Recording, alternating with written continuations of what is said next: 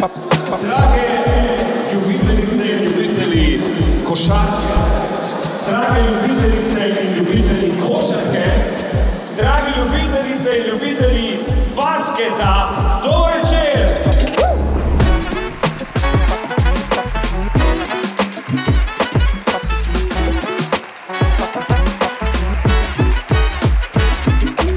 Jaz mislim, da je takrat eh, 2017, kar cela Slovenija dihala skupaj z ekipo, koliko ljudem tu pomeni koliko nas povezuje, vidimo tudi danes. Izjemen zgodovinski uspeh, najboljši uspeh v ekipnem športu v zgodovini Slovenije. Tako da mislim, da bomo danes vsi nostalgično to spet podoživljali in uh, upam, da bo dober film oziroma ne dvomim v to.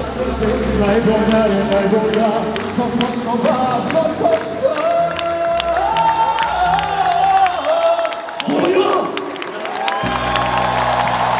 Zgodba, ki jo Hollywood ne more spisati, predvsem zato, ker je srčna, ker je resnična, ker se je združil cel narod, združil so se prijatelji in tudi po parih letih je zelo živa. Uh,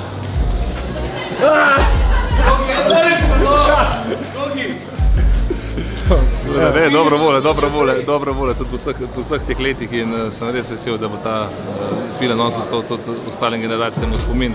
Vsi pa vemo, kje smo bili takrat, da smo bili v dvorani, smo bili s prijatelji, vsi se bomo tega momenta zapomnili.